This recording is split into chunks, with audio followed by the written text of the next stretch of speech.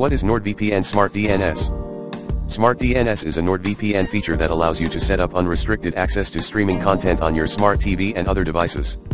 In order to use Smart DNS for VPN, you have to whitelist your IP address without a VPN connection, it should be your original ISP IP address.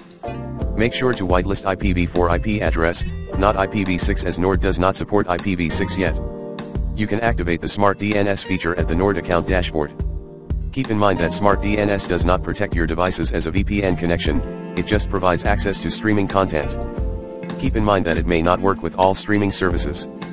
Here is a list of Smart DNS supported streaming services, ABC Go, US region, Amazon Prime, US region, Disney Plus, German region, Fox Now slash Sports Go slash News slash Showtime, US region, HBO Now, US region, Netflix Originals.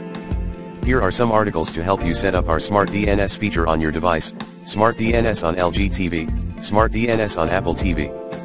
On other devices, you may try to use the following DNS servers, primary, 103.86.99.103, secondary, if available 103.86.96.103. If you are still having trouble, please contact Nord support team via chat or email. Warning, the NordVPN service should never be used to bypass copyright regulations. NordVPN does not promote, condone, or endorse the use of the service for such purposes. For more details, please read the NordVPN Terms of Service.